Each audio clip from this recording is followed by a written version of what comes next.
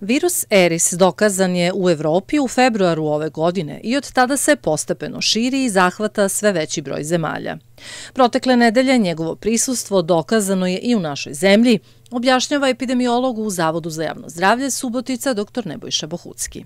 On ističe da postoji trend povećanja obolelih od virusa COVID-19 na teritoriji Severno-Bačkog okruga. Očekuje se, s obzirom da je dokazano prisustvo ovog virusa i u našoj republici, da će u najskorije vreme biti dominantan i kod nas.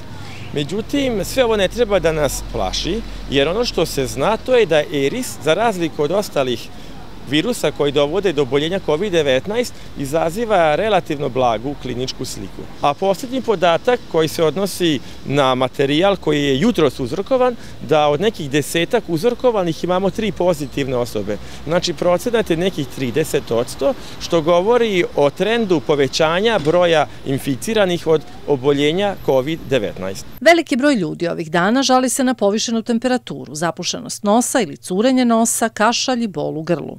Svi ovi simptomi upućuju na to da se radi o prehladi.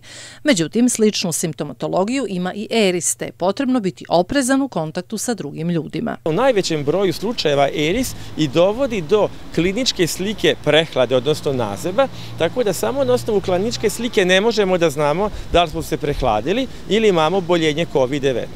Međutim, ipak treba biti oprezan, jer je primećeno da osobe koje imaju više od 65 godina života, odnosno mlađe osobe, ali koje imaju narušen imunni sistem, mogu da imaju težu kliničku sliku.